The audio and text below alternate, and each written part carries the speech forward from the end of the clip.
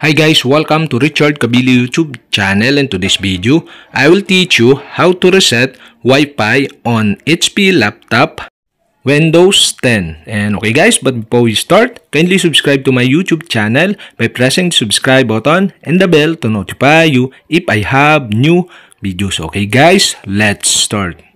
You'll have to do is go to start menu on the lower left side on your screen. Okay, click the start menu, then go to settings. Here is settings. Go to network and internet. Okay, click this. On left side and network and internet, select status. Here in status, below you can see the network reset. You'll have to do is click the network reset. Now you can see the network reset here.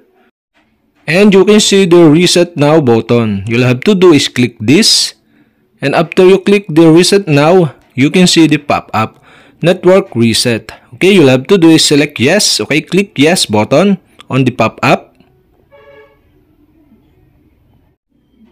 And another pop-up, you're about to be sign out. Okay, Windows will shut down in 5 minutes. So, okay guys, you can close this pop-up by tap the close now button and wait for 5 minutes. And you can see again that you're about to sign out. Windows will shut down in 2 minutes. So, okay, 2 minutes remaining. Okay, you can close by tap or click the close button now.